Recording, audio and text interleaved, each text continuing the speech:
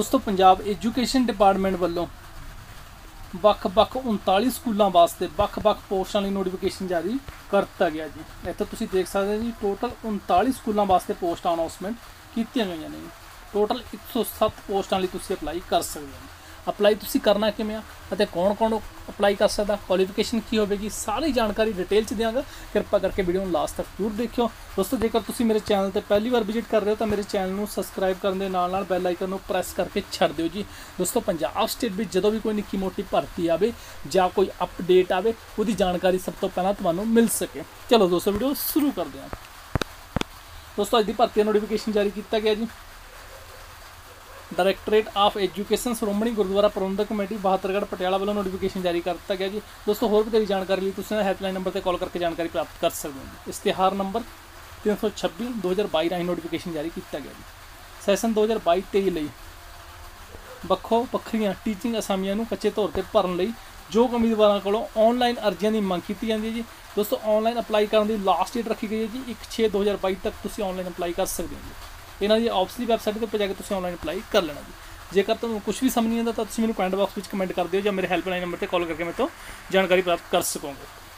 Shiromani Gurdwara Parbandhak committee ਦੇ ਪ੍ਰਬੰਧ ਅਧੀਨ ਚੱਲ ਰਹੇ ਸਕੂਲਾਂ ਲਈ ਟੀਚਿੰਗ ਅਸਾਮੀਆਂ ਦੀ ਭਰਤੀ ਲਈ ਜ਼ਰੂਰੀ ਹਦਾਇਤਾਂ, ਜੋ ਭਰਤੀ ਕੀਤੀ ਜਾਣੀ ਉਹਦੇ ਲਈ ਕੁਝ ਜ਼ਰੂਰੀ ਹਦਾਇਤਾਂ ਮੈਂਸ਼ਨ ਕੀਤੀਆਂ ਗਈਆਂ ਨੇ ਜੀ।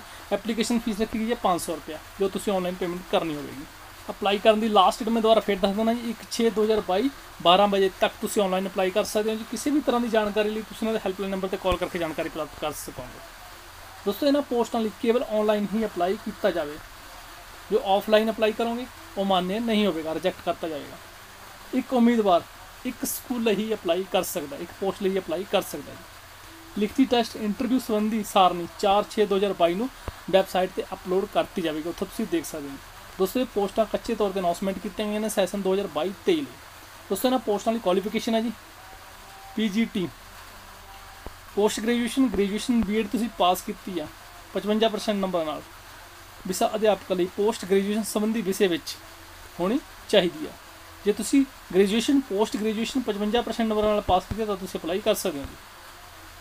ਨੈਕਸਟ ਹੈ ਜੀ PGT post graduation graduation BEd 50% ਨੰਬਰਾਂ ਨਾਲ ਤੁਸੀਂ ਪਾਸ ਕੀਤੀ ਹੈ, ਤਾਂ ਤੁਸੀਂ ਅਪਲਾਈ ਕਰ ਸਕਦੇ ਹੋ ਜੀ।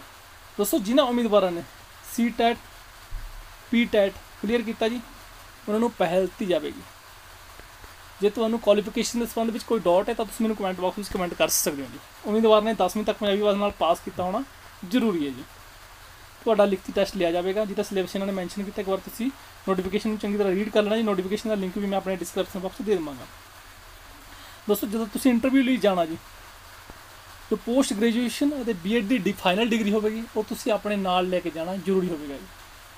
ਇਹਦੇ ਵਿੱਚ ਸਾਮ ਮੈਂਸ਼ਨ ਕੀਤਾ, ਜਿਨ੍ਹਾਂ ਨੇ ਕਲੀਅਰ ਨਹੀਂ ਕੀਤੀ, ਉਹ ਵੀ ਅਪਲਾਈ ਕਰ ਸਕਦੇ ਨੇ, ਪਰ ਜਦ ਤੁਸੀਂ ਇੰਟਰਵਿਊ ਲਈ ਜਾਓਗੇ, ਉਸ ਸਮੇਂ ਤੁਹਾਡੇ ਕੋਲ ਫਾਈਨਲ ਡਿਗਰੀ ਹੋਣਾ ਜ਼ਰੂਰੀ ਹੈ ਜੀ। ਇੰਟਰਵਿਊ ਸਮੇਂ ਉਮੀਦਵਾਰ ਨੂੰ ਆਪਣੀ ਯੋਗਤਾ ਐਕਸਪੀਰੀਅੰਸ ਦੇ ਓਰੀਜਨਲ ਡਾਕੂਮੈਂਟਸ ਦੀਆਂ ਕਾਪੀਆਂ ਨਾਲ ਲੈ ਕੇ ਜਾਣੀਆਂ ਨੇ ਅਤੇ ਕਾਪੀਆਂ ਦੇ ਦੋ ਸੈੱਟ ਵੀ ਬਣਾ ਕੇ ਨਾਲ ਲੈ ਕੇ ਜਾਣੇ ਜ਼ਰੂਰੀ ਹੋਣਗੇ ਜੀ। ਸਿੱਖ ਉਮੀਦਵਾਰ ਪਤਿਤ ਨਹੀਂ ਹੋਣਾ ਚਾਹੀਦਾ ਜੀ। ਇੰਟਰਵਿਊ ਅਟੈਂਡ ਕਰਨ ਲਈ ਸਾਨੂੰ ਕੋਈ ਟੀਡੀ ਦਾ ਭੁਗਤਾਨ ਨਹੀਂ ਕੀਤਾ ਜਾਵੇਗਾ। ਇੱਥੋਂ ਤੁਸੀਂ ਦੇਖ ਸਕਦੇ ਹੋ ਜੀ, ਵੱਖੋ ਵੱਖਰੇ ਸਕੂਲਾਂ ਵਾਸਤੇ। 39 ਸਕੂਲ ਨੇ ਜੀ, ਜਿਹਦੇ ਵਿੱਚ 107 ਪੋਸਟਾਂ ਲਈ ਨੋਟੀਫਿਕੇਸ਼ਨ ਜਾਰੀ ਕੀਤਾ ਗਿਆ ਜੀ। ਬਹੁਤ ਹੀ ਵਧੀਆ ਮੌਕਾ ਆ ਚੁੱਕਾ ਜੀ। ਜੋ ਚਾਹਵਾਨ ਉਮੀਦਵਾਰ ਨੇ ਜੀ, ਬਹੁਤ ਟਾਈਮ ਤੋਂ ਇੰਤਜ਼ਾਰ ਕਰ ਰਹੇ ਸੀ ਜੀ। ਭਰਤੀਆਂ ਦਾ ਉਹ ਅਪਲਾਈ ਕਰ ਸਕਦੇ ਨੇ ਜੀ।